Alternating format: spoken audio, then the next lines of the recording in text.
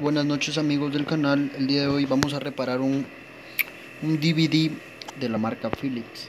El problema que viene ese DVD es que no detecta los discos DVD, solo CD. Entonces lo que procedimos a hacer es a,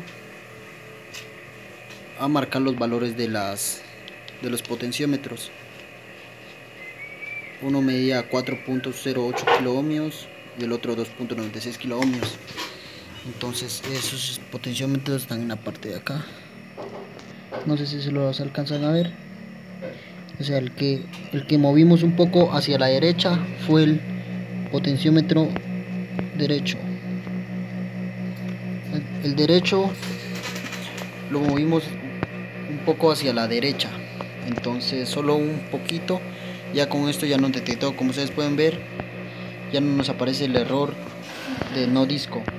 Entonces también el otro defecto que tenemos es que los botones no agarran o sea no se apaga. No presiono y ahí se agarra ¿eh? pero a veces agarra y a veces no. Entonces la recomendación es que le cambiemos los switch y ya con eso el problema se soluciona. Eh, únicamente le limpiamos el, el lente con un hisopo nada más sin echarle ningún tipo de químico nada. Entonces con esto ya nos queda funcionando como ustedes pueden ver. Ya nos detectó los discos.